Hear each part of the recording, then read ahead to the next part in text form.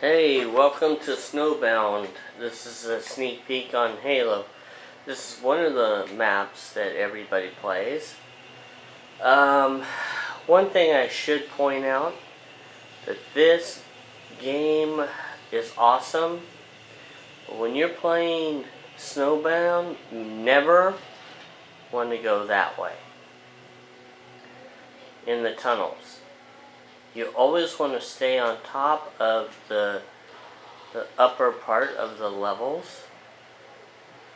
Right here, this is where everybody dies. I might die because I'm trying to get an achievement, but if I get it, I get it. If I don't, I don't. Um, I haven't got it yet, but they say it's in a ranked match. You take a mongoose and you just run one person over with it and you get the achievement. Simple as that. Says in rank match. I'm looking for someone to run over. Let's see if we can find somebody. And if it's that easy, you just need to drive around and run somebody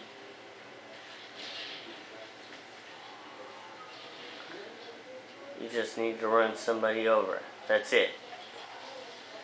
It's that easy. God dang it. Why? Oh. Did I run them over? No, I didn't. See, that's the cool thing. You, you have to do this for hours just to get it right. And then when you, once you get it right, then it's, see I went downstairs, I got, I died. I didn't listen to my own advice, which is never do that. But I will tell you, if you know what you're doing, and, oh, and you stay with the group and help your team out, then you'll do fine. Snowbound is the one level that everybody loves to hide and never has a game plan on it. I've won one match one time because I didn't because I didn't um, rush in and we won the game, and it, the red team left because it was so many points. It was like 49 to 5 or something like that.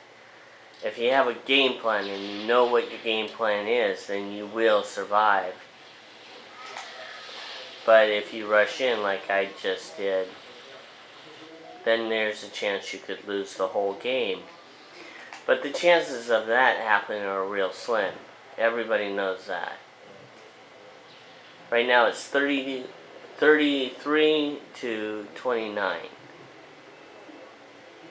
And all I'm trying to do is run over one person on the red team.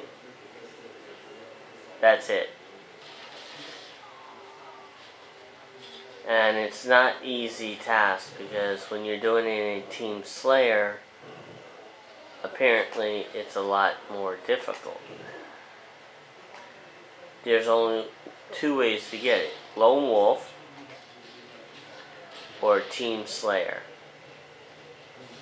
And look at all that carnage. That could have been prevented by by just not doing that.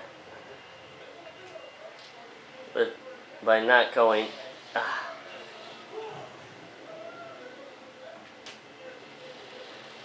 I'm going. Ah! Obviously, I can't get one person run over. I, I'm pretty lame. That's pretty lame if I can't run over one person, you know?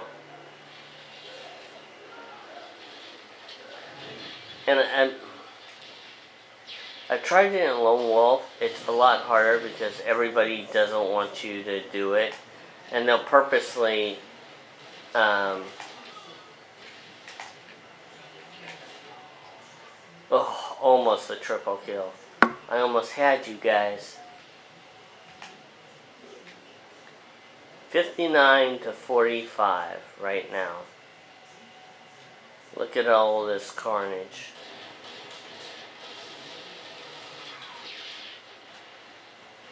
And we won. There's another perfect example. When you don't when you don't rush in, you have a better chance of actually staying alive. Now, I suggest you get a mic. I suggest you definitely talk to your team. Make sure you're doing good teamwork. It, that's the crucial of the difference between playing rushing in and winning by 50 points while the other team has 5. So if you really want to play and you want to play without rushing in, send me a message. If you have Halo 3, I'll jump in and we'll do it together as a team. So enjoy the game.